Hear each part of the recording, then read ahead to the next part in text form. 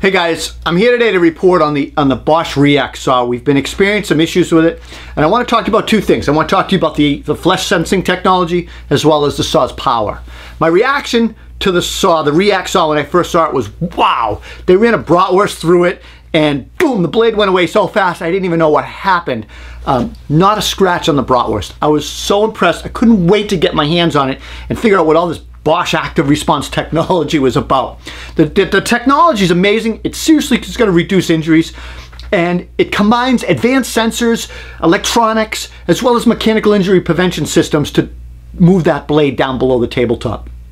Basically, the saw, the REAXX detects human, it detects human flesh, and it rapidly drops the blade below the tabletop without damaging or cutting the user, damaging the blade, and you can reuse the saw. You can reset it and get it back in operation in a minute or so.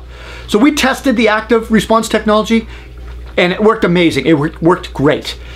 So the saw is very similar to the 4100 saw. The REAXX saw features a 50 amp, 4 horsepower motor, uh, max motor, and it produces 3650 3650 RPMs.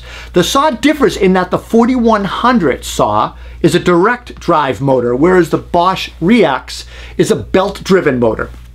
The REAXX also has the sensors and advanced electronics that help maintain speed under load. And that might be the issue. We're not sure. One of the issues we've been experiencing when testing these saws is that we did it in the job site as well as on, on a, in the shop here is that we found power issues, serious power issues when ripping framing lumber. 2x6 framing, pressure treated 2x6. Some of the cuts were fine, but many, many bogged down. And, and I'm talking about under normal feed rate. Now, we're not ramming these boards in. Um, the saw sometimes seemed to cycle up and down uh, to adjust the speed under load. And it just seemed like it couldn't keep up with some of the rip cuts. And ultimately, it's, it's forcing the user to have to slow down their feed cut way down or let the saw blade ramp back up, try it again. If the feed cut is too fast, the blade and the motor completely stop and it's just a humming sound. Uh, and that happened to me actually earlier today testing the saw again. You have to turn the switch off and back on to recycle, reset the saw.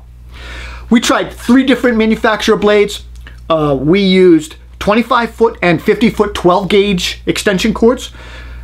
We plugged directly into um, the outlet, 15 amp and 20 amp, we used two different REAXX saws.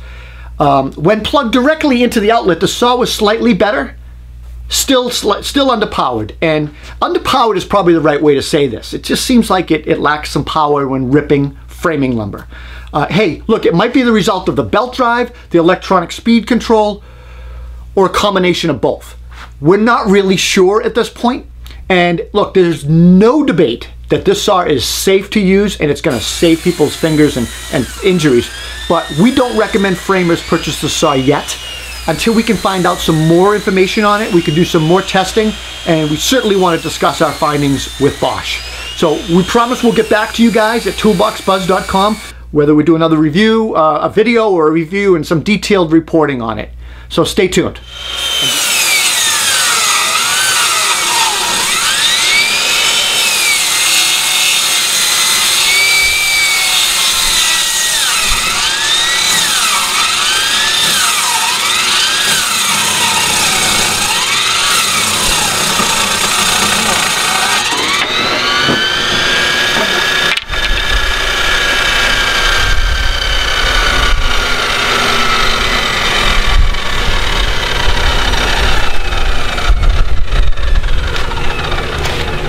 Shut down.